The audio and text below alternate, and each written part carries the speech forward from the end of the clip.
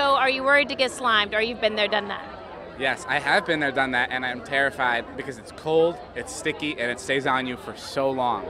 I found it in my ears. I think I think literally a couple months after. Seriously? I still may have some deep do down. they make? How do they make that stuff? We don't even know. No idea. And I always thought it was green apple. Like I always thought it tasted like green apple for some reason, but it doesn't. It's just there's no taste. But I'm excited. Yeah. A lot of people have been following your story. You've been talking about your relationship and, and your breakup. How are you feeling today? Are we talking about my breakup from two years ago, or the or the marriage I was in?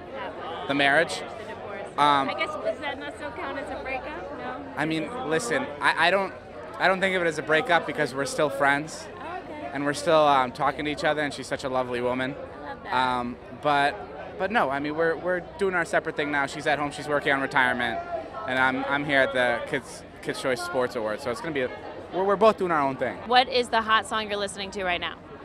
Oh wow, I've been listening to a lot of Elton John. Um, Still Standing is a good one.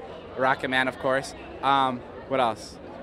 Oh, um, my guilty pleasure is Sweet but Psycho. Okay. Love that one. All right.